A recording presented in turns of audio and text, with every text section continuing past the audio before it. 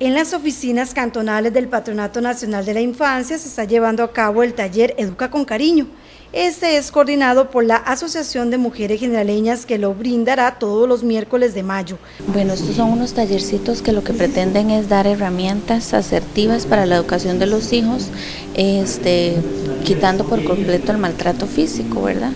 A nosotros nadie nos ha enseñado cómo ser madres y padres, ¿verdad? Entonces a veces hemos metido o hemos cometido errores que este, al final pueden traer consecuencias graves en el desarrollo de los niños y las niñas.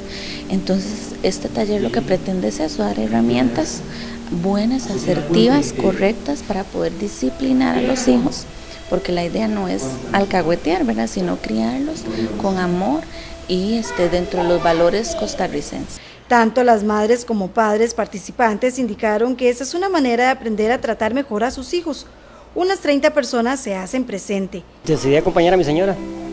Tenemos una niña de 7 años y siempre es bueno, siempre es bueno estar recibiendo información fresca de, cómo atenderlos. ¿no? ¿Qué ha aprendido?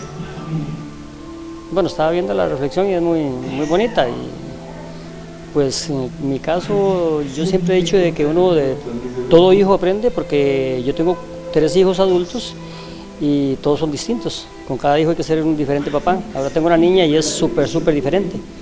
Y es muy interesante en realidad el, hecho de venir a aprender, ¿no?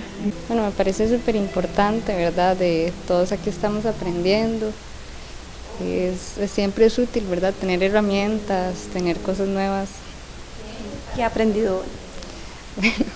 Bueno, he aprendido muchísimas cosas, eh, más que nada paciencia, ¿verdad? Amor, cómo tratar a, sus hijos de, la manera que uno quiere que a uno lo traten. El tema de violencia se da de muchas formas, según lo explicaban acá. Sí, sí, sí. ¿Y cómo va a poner a aplicar todo esto ahora en casa? bueno, por mi caso, ¿verdad? En especial, es un tema bastante delicado, pero me parece que, que el primer paso que tiene que dar uno es no tener violencia alrededor de ningún tipo. Ya se cerró el cupo para este taller, pero en agosto esperan realizar otro. Hay 30 personas aproximadamente en este, en este taller, incluidos padres y madres. Es abierto a cualquier, eh, ¿verdad? Cualquier cuidador, padre, madre este, este, taller se va a realizar todos los siguientes miércoles. ¿Todavía hay gente que puede participar? Lamentablemente no. Ya los que están hoy, ¿verdad? Son los que siguen porque es un taller que tiene un proceso. Entonces los que empiezan lo terminan. Sin embargo, en agosto vamos a dar otro y es igual abierto a todo público. Con los talleres esperan que los padres de familia comprendan a sus hijos y los traten mejor.